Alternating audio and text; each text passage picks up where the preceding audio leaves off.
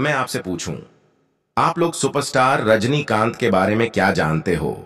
तो आप लोग कहोगे कि रजनीकांत एक हीरो है, लेकिन मैं आप लोगों को आज रजनीकांत की दस ऐसी बातें बताने वाला हूँ। इसके बारे में आप लोगों को नहीं मालूम होगा तो बिना देरी किए हुए वीडियो को शुरू करते हैं और आप लोग हमारे इस वीडियो को सपोर्ट ज़रूर कीजिएगा।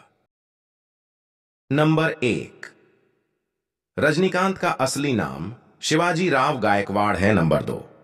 रजनीकांत सिर्फ़ पाँच साल के थे, तभी इनकी माँ का निधन हो गया था। नंबर तीन। रजनीकांत ने अपने करियर की शुरुआत एक कारपेंटर की नौकरी से शुरू की थी, जो बाद में एक बस कंडक्टर बने, फिर उसके बाद एक सुपरस्टार रजनीकांत। नंबर चार। रजनीकांत की दो बेटियाँ हैं, ऐश्वर्या, सौंदर्या। नंबर पाँच। ऐश्वर्या। रजनीकांत ने तमिल। सुपरस्टार धनुष से शादी किया, शादी में पूरा परिवार शामिल हुआ। नंबर छह। रजनीकांत एक मराठी होते हुए भी अभी तक एक भी मराठी फ़िल्म में अभिनय नहीं किया है। यहाँ तक उन्होंने एक बंगाली फ़िल्म भी की है, जिसका नाम भाग्य देवता है, नंबर सात।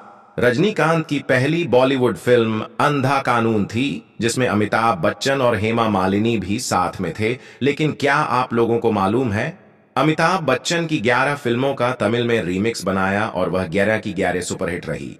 नंबर आठ है रजनीकांत ने जब अपना ट्विटर अकाउंट बनाया तो 24 घंटों में ही उनके फॉलोअर्स की संख्या दो लाख दस हज़ार हो गई। नंबर नौ, रजनीकांत हिंदू धर्म के अनुयायी और आध्यात्मिकता के प्रबल आस्तिक हैं। वह योग और ध्यान का अभ्यास भी करते हैं। नंबर दस, अपने चौनालीस साल के करियर में रजनीकांत ने कभी भी कोई ब्रांड प्रमोशन नहीं किया। दोस्तों, अगर आप लोगों को मेरा यह वीडियो पसंद आया हो और आप ऐसे ही वीडियो देखने के लिए इंटरेस्टेड हो तो आप हमारे चैनल को सब्सक्राइब ज़रूर कर लेना और इस वीडियो को ज़्यादा से ज़्यादा लोगों तक ज़रूर पहुँचना।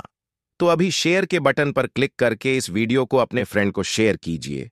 हम आपके लिए ऐसे ही सेलिब्रिटी लोगों को लाते रहेंगे। आप लोगों के सामने उनसे जुड़ी सभी बातों का खुलासा आप लोगों को देते रहेंगे। तो दोस्तों, मिलते हैं कल के नेक्स्ट वीडियो में।